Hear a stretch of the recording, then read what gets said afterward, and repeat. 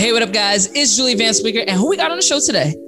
We got the Ashton London in the building. The Ashton London. I am so excited to have you on today. You are one of the few rare, real R&B singers out here. Not saying that anybody else isn't a real R&B singer, but we're taking it back to the basics with your vocals. So we had to have you on. You have a lot of new things coming up. Plus, you just dropped a few singles. So we're going to get into that real quick. Yeah.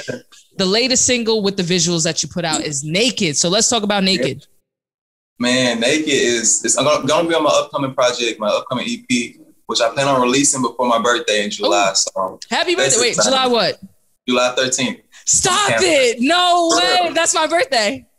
That is so crazy. You, oh. you, you ah. playing with me. I'm not See, I 13. knew it was something. I knew it was something. That's why. I'm a no. full on cancer. See, so you understand. You understand. I do. I'm with exactly, exactly. They, they, talk trash about us, but you know we the best. So we are. We are. I just posted something yesterday. I was like, forget Gemini season. We coming. Like it's our we turn. We on the way. forget the Gemini's. That's okay. But well, no. happy birthday to both Thanks. of us. Happy birthday to you. Too. Exactly. That's so wild. The 13th. But go ahead. I'm yeah. sorry. So, um, but I'm, I'm excited about that. Um, I've been working on visuals, everything for the project. I'm like, I just want it to be right. Um, I've been able to work with different engineers and producers mm. this time, so I'm just excited for people to start hearing, like you said, that that R&B and people missing like the feeling and, and the love, mm. like just that you can hear it in your voice. You know what I'm saying? I, I want people Absolutely. to feel it. no, and I and I felt it when I heard your music for the first time. Um, I just couldn't believe it because I'm like, there's just really no way. This brings me back to my childhood growing up in like the the late 90s and my mom like she put us on like i'm more of an r&b person out of anything. I'm, I'm into the vocals. I grew up in church. So like vocals right. are a big big big big thing for me and harmonizing everything every melody yeah. everything riffing. So when i heard your voice it really brought me back to like a, a good space. Yeah yeah yeah yeah. And it's, it's like aside i guess from even just like the recording aspect or like the business side of it. It's kind of like you know it's just my passion. Like i grew up singing like you said in church mm-hmm. and just being around it. a lot of great singers, you know, and so exactly. it's kind of like embedded in me, you know, right. like the Memphis soul. But mm. I just want to tell people, you know, we can do it on a different level too. You know, it's coming back. Absolutely, and you're young. You're you what 25, 26? 24. 24. So you turn in 25, yeah. right? Yeah, yeah, yeah. I was close. I was so close, and I'm like, you're yeah, so young, and that's what blew my mind because I'm like, like it's not that you missed that that cusp because you're right. Like you were you were at that age where that stuff was kind of almost dying down until we got up to the early 2000s and then we had the pop and the rap and hip hop taking over right. for a really really long time so it's crazy that you still have that ability that they mm. had back in the day and it's yeah. so rare and i see some artists trying to emulate it but it's not quite like naturally there with you, you. it's effortless Thank it was you. an acute uh, acoustic session you did um i don't i don't even remember the name of the song i want to say it was a cover and mm-hmm. it was insane to watch. I was like, oh my god, like he's sang that thing singing, yeah. like, you know what I mean? Thank you, like, and it's like you said with the hip hop. Like at one point, I really thought like, man, is R and B like done? And yeah, you know, I was I was young, of course, but I feel like during those times, it was grooming me for where I am now, where. Man people are finding my videos, and I say it every day. Like my fans are finding me, and I'm finding them every day. Mm. But it's like people I never even thought would know who I was just from seeing little stuff like that. Like right. you know, they they felt it. So as long as that's going on, I'm happy. Absolutely. So when you're creating music and you're in the studio and you're writing, I know you have had the opportunity to work with many different writers now.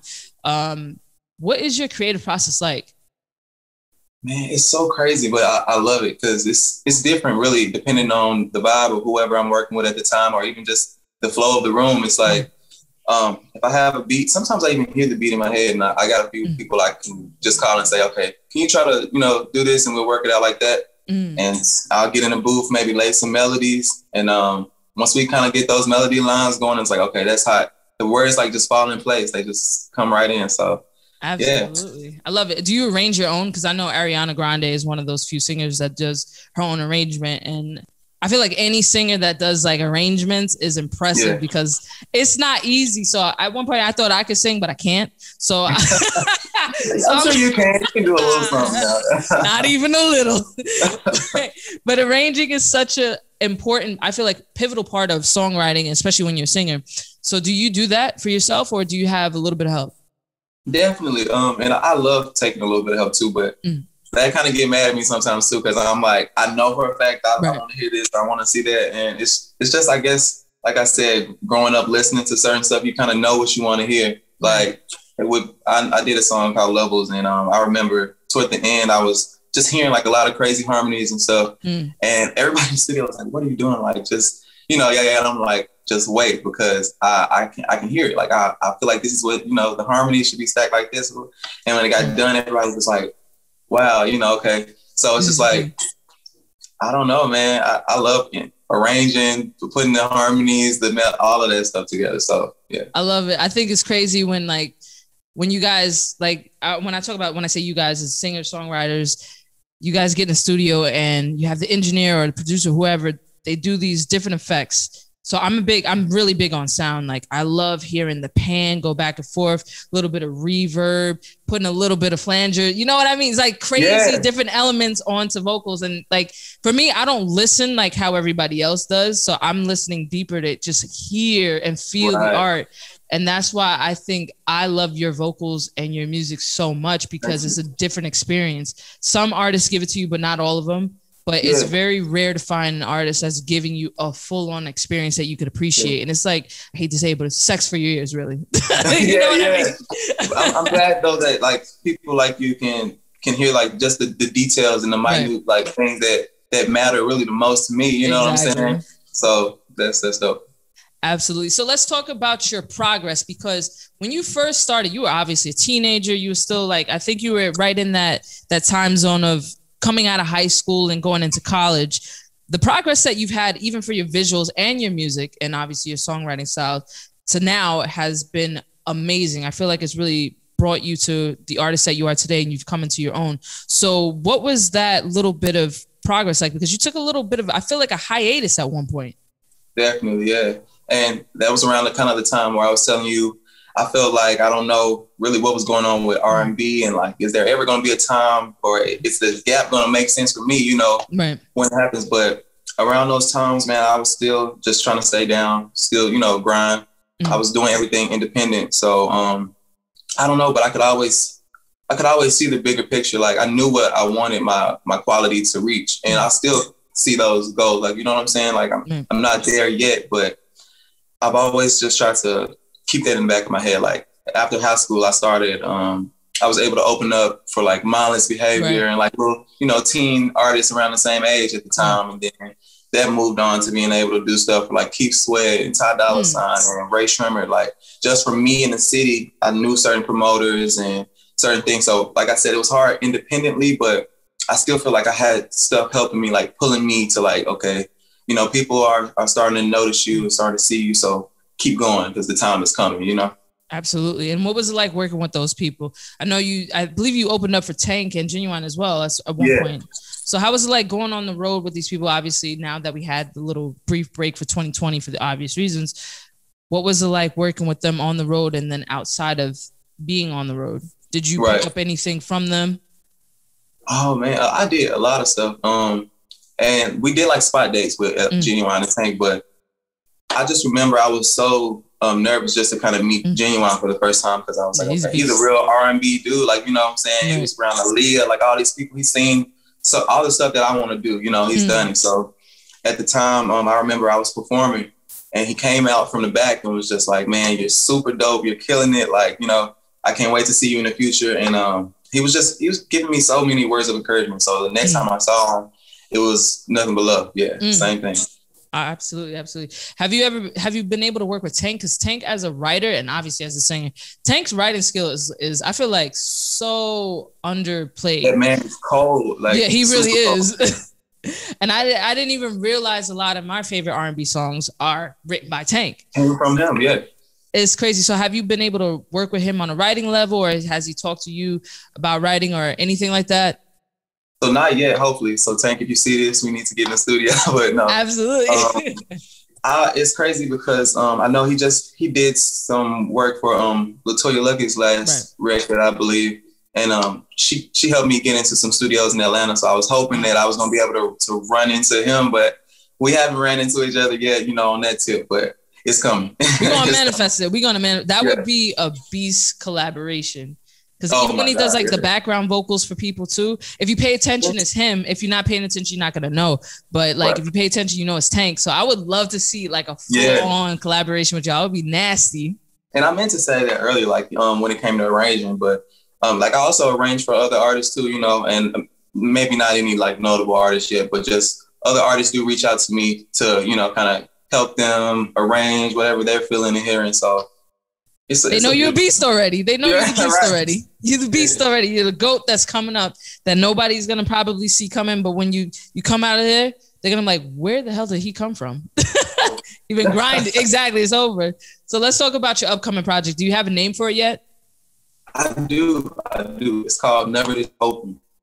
So um, the songs on there are gonna be personal. You know what I'm saying? Mm-hmm. And not just for me, but even from just other conversations I've had with people around me and kind of what I feel like most people probably want to hear. So mm. I'm working on choosing the songs I want to put on there right now, but it's gonna be dope. It's gonna be super dope. Absolutely, and I can't wait for that. So, what's the next single that you're gonna drop? By the way, I also love "I, I Swear" because that gives me wedding season vibes. By the way, it, it, feels like you got to play it at a wedding, walking down an aisle. That's exactly what I envision when I watch. That was the, Exactly.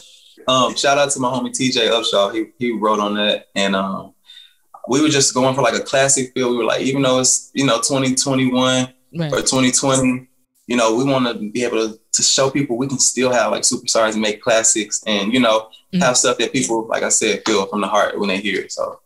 Absolutely. I can't wait. So this is my favorite part of the show. Uh, it's called Five Fast Facts. You got to be quick with oh. it. So you got to drop five gems about yourself that your fans don't already know about you. So I feel like this interview, we got a lot of good facts out there already. Yeah. We need some more. Oh, some more. Okay, let me see. Huh, five quick, and it's supposed to be fast. Okay. Fast. Uh, it's got to be fast. Well, I like to draw. I don't know if people know that. You know, that's kind of a thing that goes in my family. We draw a little bit. Um, let's see. Um, in high school, I don't know if this counts. Uh, I got what most classiest, most talented, and best all around. right. I was Damn. no, but they knew. But they knew. they was. Before I did, I guess. Um, let me see. Uh, I love seafood. Okay, um, I don't know if anybody knows that. Uh, let's see. What else? What else? What else? What else? Almost there. Almost there. Um, I, I didn't mention this, but I was part of the Sunday service choir. Oh, okay. Um, I can see that. Last but not least, I always have to talk about this. Let me see. Uh, Beyonce, she passed me the torch. Wait, what you mean? she gave me her towel at the On the Run tour. And it's like no. people moved, yes, people moved out the way like they knew it was for me. So I was like, you know what? This this is my golden ticket and I still got it. It's in my it's in my room somewhere, but um No yeah. way. Yeah, Don't tell yeah. anybody that because they might run up on you. right, right, right. About to cut that part out. No. Right. oh no. man, I always said if I met Beyonce, I might pass out. I don't know. That the creativity is insane with her, oh, but her I know exactly is whatever she gave you is gonna wash all over Manifesting. exactly. Well, Ashton, thank you so much for joining us thank today. You. I appreciate you taking your time out to talk to us about your new upcoming project. It's dropping before July 13th, our birthday, so it's good for both of us. right, right, right. I'll send it to you first before anybody can listen Absolutely. to it. Ooh, I can't wait. well, Ashton London, thank you so much again. I'm Julia Vamps. This is Ashton London. Thank you guys so much for watching and listening.